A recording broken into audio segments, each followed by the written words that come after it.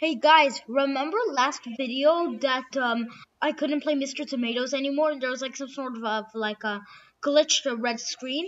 Well, some reason I found a YouTuber and I fixed it. Like let me show you right now. Let me show you.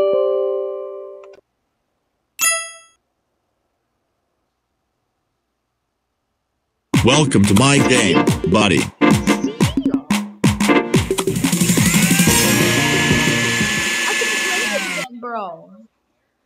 I am very glad that you decided to help me. I would like you to feed me, because I'm very hungry, and I can't eat on my own. I want a donut. Okay, so uh, he said it was only for Windows, and uh, I'm on a Mac. I think this is Mac. I don't know, but I figured out how to do it without Windows. Uh, well, so first go. You have to go here. Then you have to put in app data. You have to put app data percent. A, percent app data percent. Then this should pop up. Then click open. Then you'll see this. All you gotta do is that you have to uh, go into MMF applications. Just go click that. Wait, first I need to open this. There we go.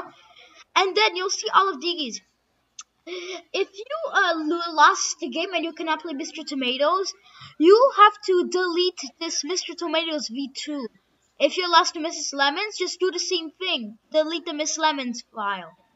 And then, if you do that, um, uh, if you delete the Mr. Tomatoes one uh, when you lost to the game, you should be good. And your pro your your progress must be resetted, and you can play Mr. Tomatoes again. That's how I did it. It's pretty easy. I ain't gonna lie. Now, uh, make sure to like and subscribe for some more content. Bye.